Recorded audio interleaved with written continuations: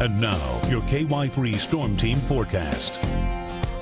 Well, good evening, everyone. Hopefully, you had a chance to go out and enjoy that gorgeous weather we saw today.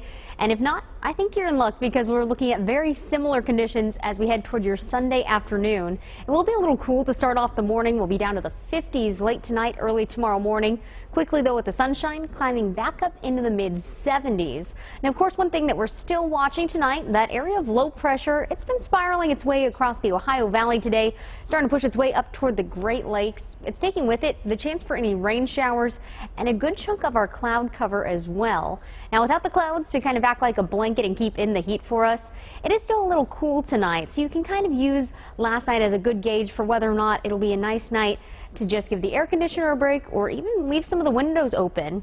For now, we are seeing a few spots down to the 50s. Mountain Grove, one of the colder spots, 53 degrees already, so I wouldn't be surprised if those places in the mid 50s even see some upper 40s by the time tomorrow morning rolls around. Now, the clouds like we saw today, they're going to continue to impact the temperatures. So even though we're expecting mid 70s for Springfield, a few areas towards central Missouri and up by Rolla as well, they could be a little bit cooler. Now, a warming trend is going to be on the way ahead of the next chance for showers for the coming work week.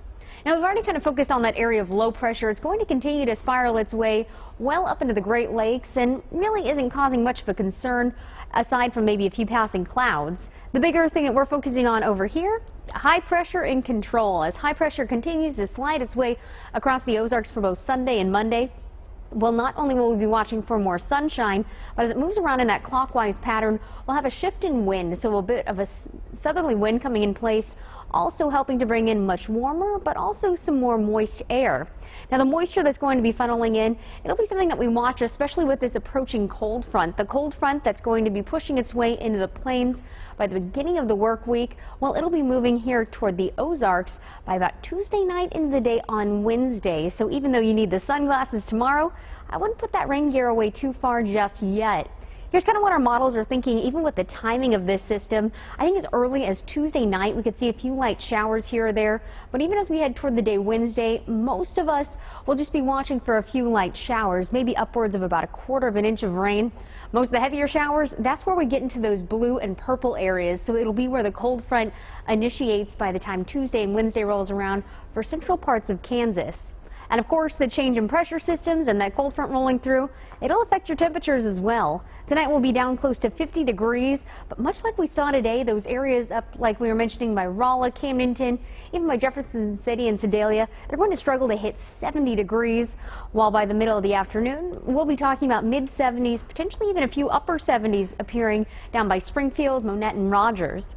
Now, as we head toward the day on Monday, again, more sunshine, that southerly breeze in place. It will uptick the temperatures a bit. We're going to be watching for highs by the beginning of the work week, closer to 80 degrees. Now, tonight, we can use last night again like a gauge to figure out whether or not it's a good night to keep the windows open. 50 degrees for me, it's a little cool, so that's about the temperature that if you do have the window open, you might want to consider even adding an extra blanket. Layering up tomorrow, I think it's going to be a good idea as well because even though we're starting off in the 50s, very comfortable afternoon high temperatures continuing to climb up to the mid, maybe even upper 70s. Now, again, further south and east you go, even if you're thinking about heading down toward the Tulsa area, that'll be where we have that chance for 80s making an appearance. The rest of us, 80s won't be far behind. They'll be moving in by the beginning of the work week ahead of some rainfall by the second half of the week.